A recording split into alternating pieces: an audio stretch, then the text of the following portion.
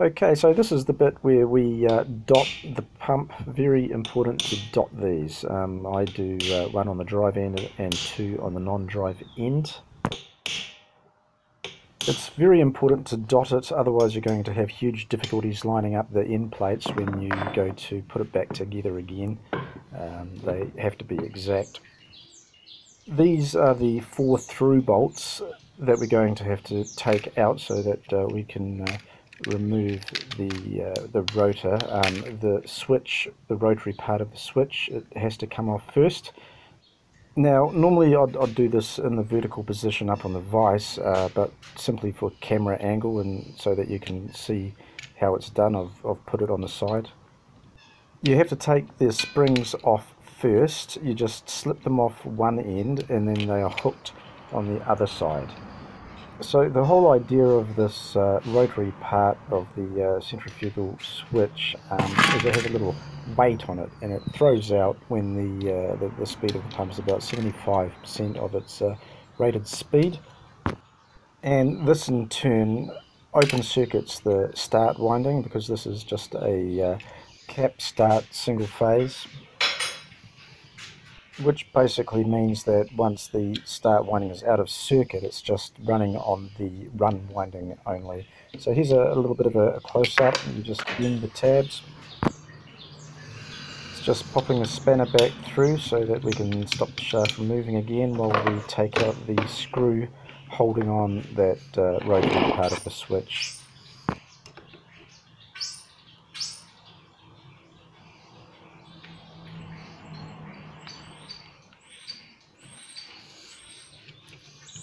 I find this a, a, lot easier normally in a vertical position. You can put a lot more weight on it and uh, that'll prevent your, your flathead screwdriver from slipping.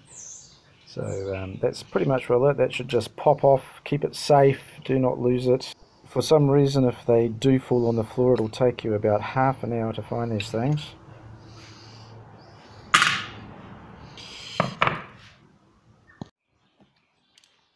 So this is a quarter inch socket. Uh, this is to uh, remove the uh, four through bolts. Now that we've gotten rid of the switch, we'll be able to take out the rotor completely from the stator.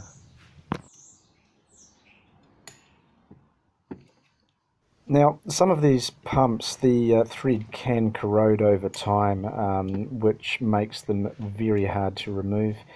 If this happens, then the best thing to do really is to get a small flame on the, the drive end or around the threads themselves and uh, heat it up.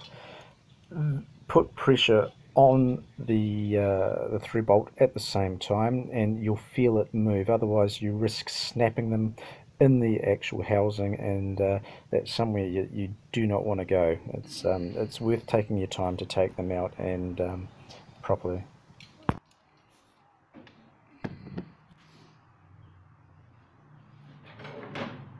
So this is a soft hammer. Um, always use a soft hammer when you're hitting metal. It's uh, not good to use anything steel. The reason being is you'll damage the metal and these are particularly important not to damage. They have little slots on the uh, non-drive shaft and the uh, switch actually sits perfectly in those slots. So if you do hit it then um, it's going to create damage and the switch won't go on evenly when you go to put it together. Now it's important to note the wave washer here I've zoomed in so that you can see it. Just be careful that it doesn't fall into the windings when you remove the rotor. So on to the next.